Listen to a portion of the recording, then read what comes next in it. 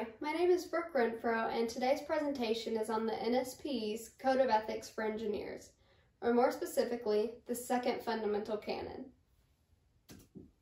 So who is the NSP? The NSP is the National Society of Professional Engineers, which was created and founded in 1934. Ever since then, they've been dedicated to serving the interests of professional engineers regardless of their area of expertise. Some of the things that they do for engineers is build their recognition, unify engineers across the country, and most notably, they stand against unethical practices. This is the main reason why they created the Code of Ethics for Engineers. So before we look at the second fundamental canon, we should be asking ourselves, what are ethics? Well, ethics are the principles of conduct governing individuals and groups of people. In layman's terms, it's how we determine between wrong and right, or good and bad. So now, let's take a look at the second fundamental canon. According to Code of Ethics, engineers, in the fulfillment of their professional duties, shall perform services only in the area of their competence. Now, let's take a look at some of the rules of practice for this second fundamental canon. Engineers should have the qualifications to perform a task. They should also have the competence when signing a document, and they should accept projects only if qualified professionals approve each technical segment. Now, let's take a look at these in greater detail. Qualifications. This is what makes one suitable to perform a job or activity, such as the amount of experience they have or the amount of education that, education that they have.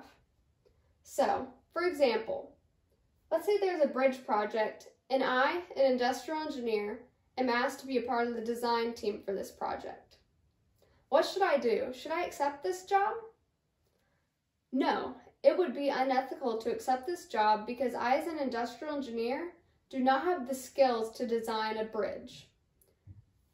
The only person that should be taking this job is maybe an architect or a civil engineer. So this is just one of the ways that ethics plays into life as an engineer. Next, signing of documents. The signing of documents requires competence because you need sufficient knowledge of what you're signing. Also, you should only sign a document if you have prepared it and you had direction and control when preparing this document. And finally, acceptance of a project.